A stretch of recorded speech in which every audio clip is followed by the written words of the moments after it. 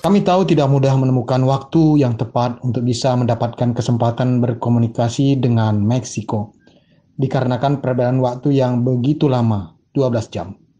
Untuk itulah kami Radio Republik Indonesia dalam program siaran luar negeri The Voice of Indonesia, La Voz di Indonesia, sangat berterima kasih bisa berkontak dengan Duta Besar Republik Indonesia untuk Meksiko, Bapak Cepi Wartono. Pak Cepi, bagaimana kabarnya Pak? Senang sekali bisa berkomunikasi dengan Bapak. Uh, saya dengan Cepi Wartono, Duta Besar Republik Indonesia untuk Meksiko merangkap El Salvador, Guatemala, dan Belize. Uh, halo, bagaimana kabar saudara-saudaraku? Uh, saya berharap saudara-saudaraku yang ada di Indonesia hari-hari uh, ini kita menghadapi apa menghadapi pandemi virus corona yang menyebar hampir di uh, di lebih 200 negara di seluruh dunia dan termasuk Meksiko, termasuk Meksiko. Jadi ya saya berharap kepada uh, saudara-saudaraku yang ada di Indonesia untuk tetap bersabar, tabah dan semangat untuk melawan virus corona ini karena kita ketahui bahwa pandemi virus corona ini uh, tidak saja berbahaya dan mudah menyebar, tetapi juga uh, virus yang bisa mematikan khususnya bagi uh, masyarakat atau uh, saudara-saudaraku yang berusia lanjut. Untuk itu saya memberikan semangat kepada saudara-saudaraku untuk tetap selalu waspada, tetap selalu semangat, tetap selalu menjaga kebersihan, ya, uh, patuhilah anjuran pemerintah yang paling penting adalah bagaimana kita berusaha memutus mata rantai penyebaran virus corona ini. Karena kalau uh, kita tidak mau bekerja sama untuk memutus ini, maka uh, seluruh rakyat Indonesia bisa terpapar virus corona dan ini menurut saya uh, tidak baik. Jadi harus ada dari kesadaran teman-teman. Tapi saya memberikan semangat untuk saudara-saudaraku agar tetap apa namanya uh, jangan berkecil hati untuk melawan uh, virus corona ini. Uh, Pak Dubes, kalau tidak salah uh, momen pandemi pandemi virus corona ini adalah perayaan Paskah pertama bagi Pak Dubes dan keluarga jauh dari tanah air. Bagaimana rasanya Pak? Bisa sharing sedikit? Uh, ya, kalau bicara soal pasca pertama tidak juga mas, karena tahun lalu kebetulan saya sudah sampai di Meksiko itu di akhir Maret, jadi menjelang Paskah pada waktu itu, uh, khususnya menjelang pemilu.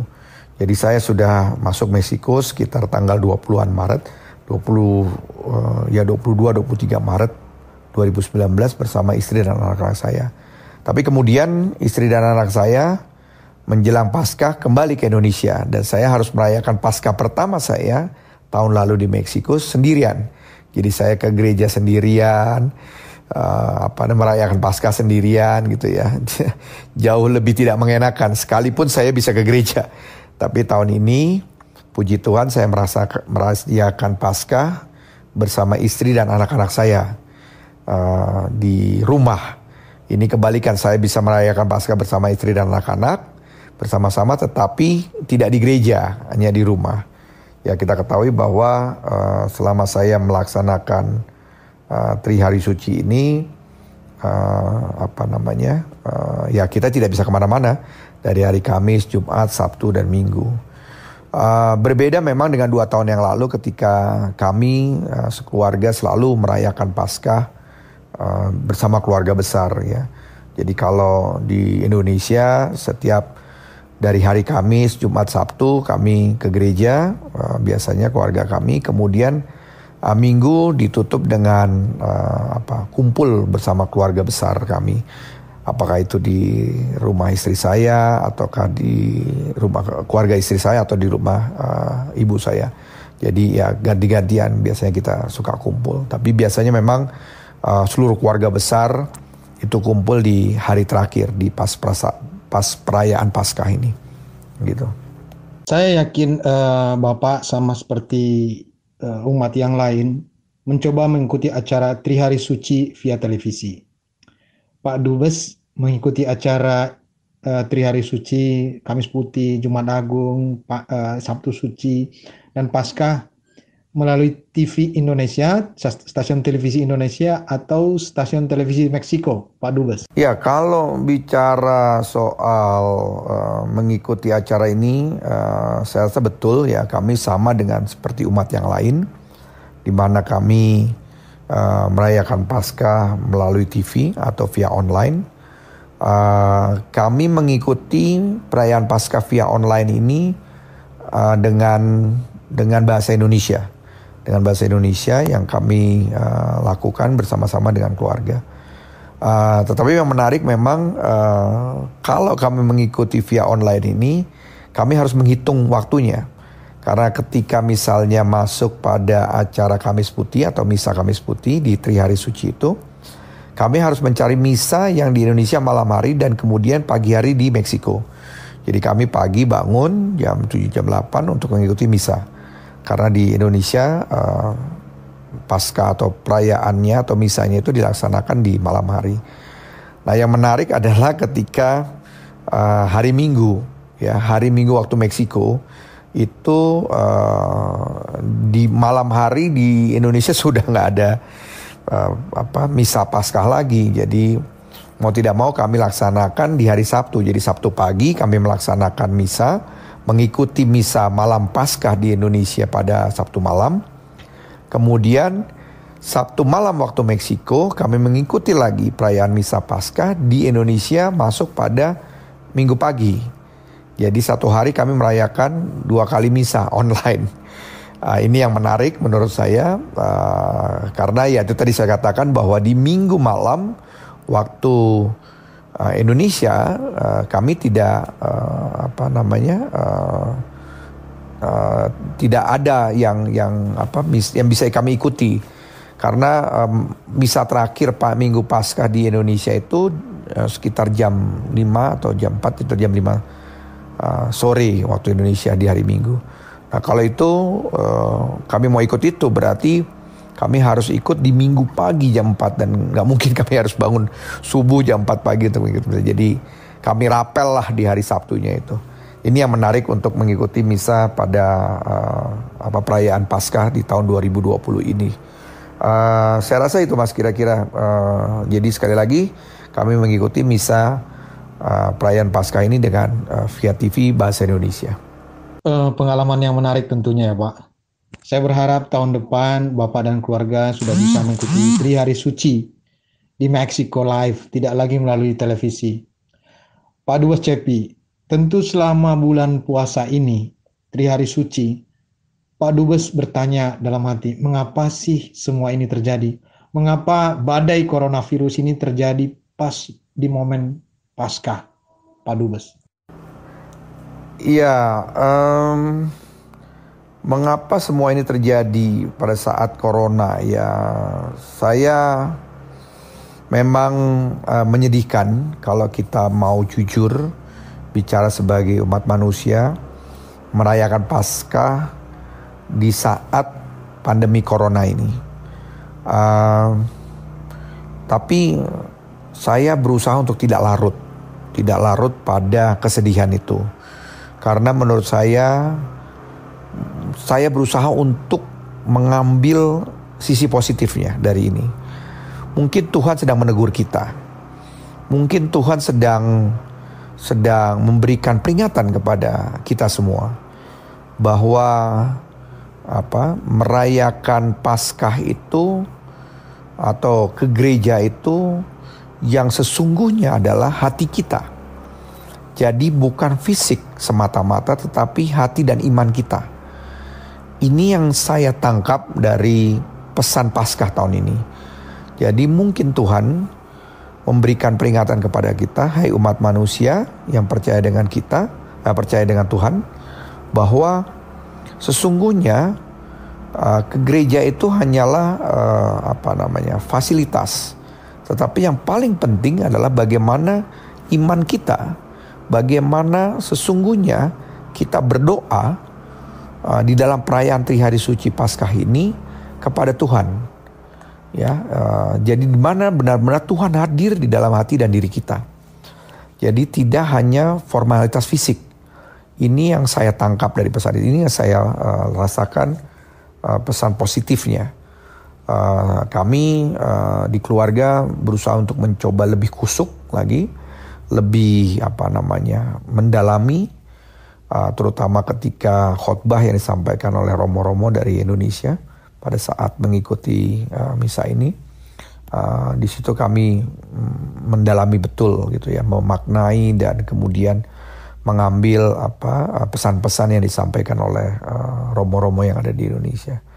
Sekali lagi, uh, kalau ditanya mengapa semua ini terjadi, yaitu tadi kembali kepada saya katakan bahwa uh, saya tidak mau mencari tahu mengapa, tetapi saya coba mencari sisi positifnya dari uh, dari pesan ini, dari pesan-pesan yang disampaikan oleh Tuhan, kenapa uh, Paskah dilaksanakan pada saat pandemi uh, virus corona. Mungkin itu yang harus kita kita dalami. Karena kalau kita mencari mengapa semua ini harus terjadi, ya itu uh, yang yang ada adalah kita saling menyalahkan, kita saling uh, apa namanya uh, menuduh satu sama lain. Menurut saya itu menjadi tidak baik. Jadi saya justru uh, apa namanya mengambil sisi positifnya, positifnya dari saat kami puasa, kemudian kami mengikuti perayaan hari Kamis Putih, Jumat Agung, Sabtu malam Paskah dan hari Minggu Paskah itu sendiri. Itu saya kira-kira mas uh, pandangan saya terhadap uh, mengapa uh, hari-hari suci ini dilaksanakan di pandemi uh, virus corona. Sebagai duta besar, tentu Bapak menerima banyak sekali ucapan selamat Paskah dari semua ucapan selamat Paskah yang Bapak peroleh dan keluarga peroleh tentunya, ucapan manakah, ucapan selamat Paskah manakah yang paling berkesan untuk Pak Dubes dan keluarga?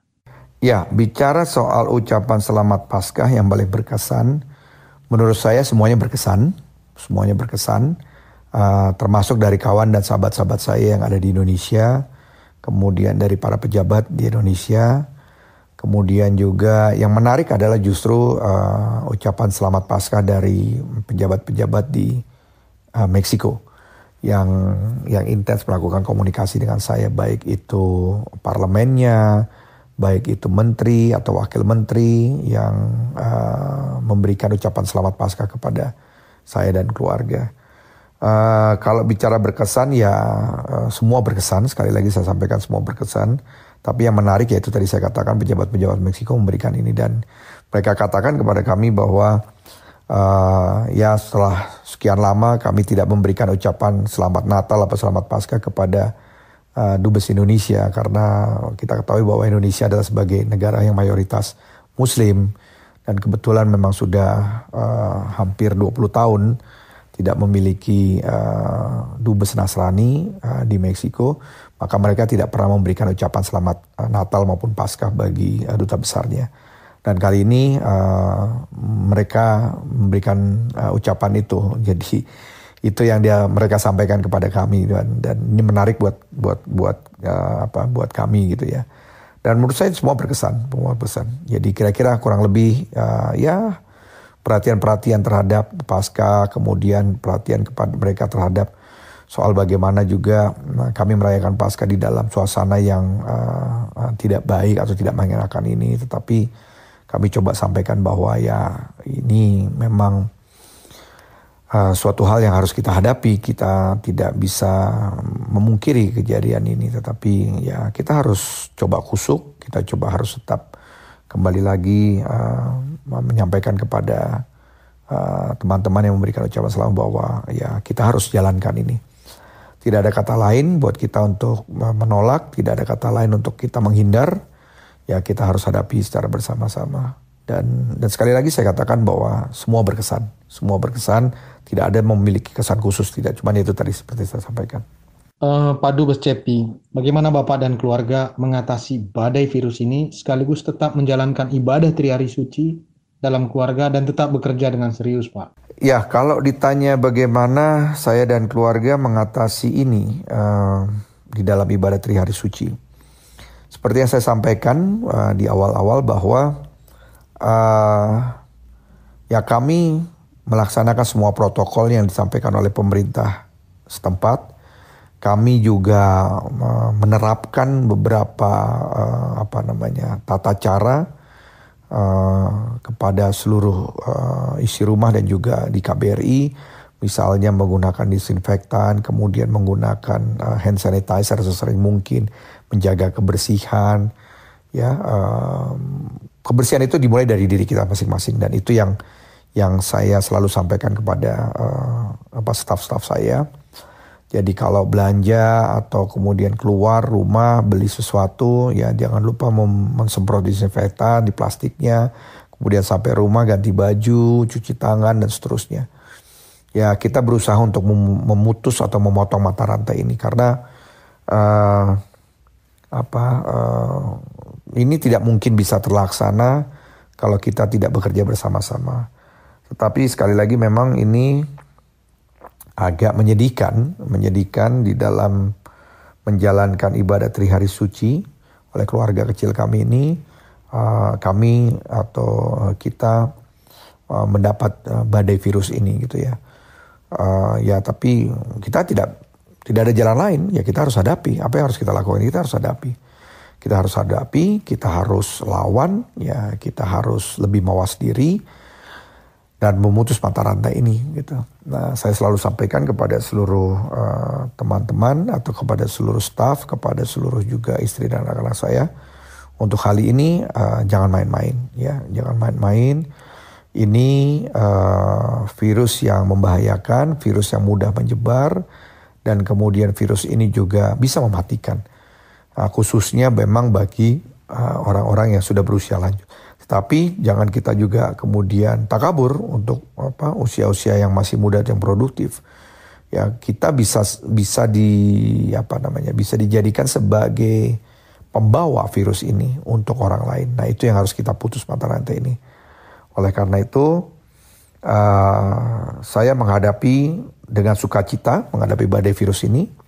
Saya menghadapi dengan uh, penuh apa istilahnya penuh perhatian, penuh uh, penuh uh, ke, apa penuh uh, kehati-hatian dan juga waspada di dalam menghadapi uh, badai virus ini. Dan itu saya selalu sampaikan terus-menerus kepada istri dan anak-anak saya dan juga kepada staf saya yang ada di rumah. Uh, di rumah maupun di kantor kami lakukan uh, apa penyemprotan secara rutin sebagai cara untuk mencoba me, apa namanya menanggulangi atau membentengi virus itu tidak masuk. Protokol atau protap-protap kami sampaikan ke, ketika masuk kantor, ketika juga masuk rumah, sehingga ada tata cara yang jauh lebih apa namanya lebih bersih, ya lebih berbeda daripada yang biasa-biasanya.